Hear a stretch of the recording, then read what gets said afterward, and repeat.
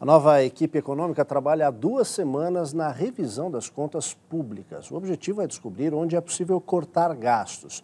Mas olha, os técnicos da área tomaram um susto com o tamanho do rombo para o ano que vem. A equipe, liderada pelos futuros ministros Joaquim Levi, da Fazenda, e Nelson Barbosa, do Planejamento, fez um pente fino nas contas do governo e descobriu dados que teriam sido escondidos para não afetar o resultado fiscal deste ano. O pior cenário está no setor elétrico.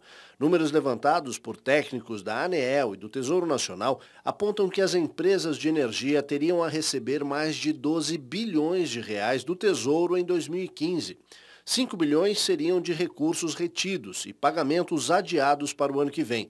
4 bilhões para despesas com a correção de tarifas da usina de Itaipu e 3 bilhões para pagar a energia comprada no mercado de curto prazo em novembro e dezembro. Uma possibilidade para reduzir o que a equipe já chama de tesouro dependência é dar carta branca para a ANEEL, permitindo que a agência autorize os repasses dos gastos das energéticas diretamente para o consumidor, o que deve impactar ainda mais a inflação.